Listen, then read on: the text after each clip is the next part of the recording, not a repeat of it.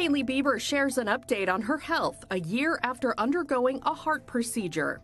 One year after experiencing what she called one of the scariest moments of her life, the model shares how she's feeling today on her Instagram story.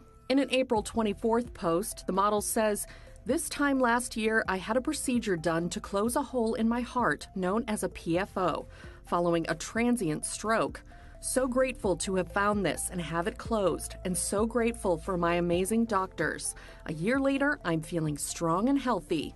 As fans recall, in March 2022, Hailey was rushed to the hospital after suffering sudden stroke like symptoms while enjoying her morning with husband Justin Bieber. She later opened up about the incident in an April 2022 YouTube video. I was sitting at breakfast with my husband, having a normal day, normal conversation, and we were in the middle of talking and all of a sudden, I felt this really weird sensation that kind of like traveled down my arm from my shoulder all the way down to my fingertips. They did some scans and they were able to see that I had suffered a small blood clot to my brain, which they labeled and categorized as something called a TIA. So the recommendation from my doctors at UCLA was to have a procedure done called a PFO closure. I recently got the PFO closure done and it went very smoothly. I'm recovering really well, really fast. She went on to say she feels really relieved and that this was, quote, definitely an eye opening thing for me.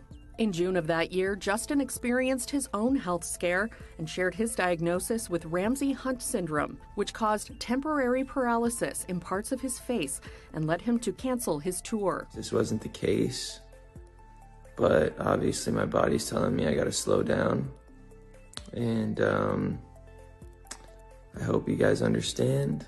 And uh, I'll be using this time to just rest and relax and get back to 100% so that I can um, do what uh, I was born to do.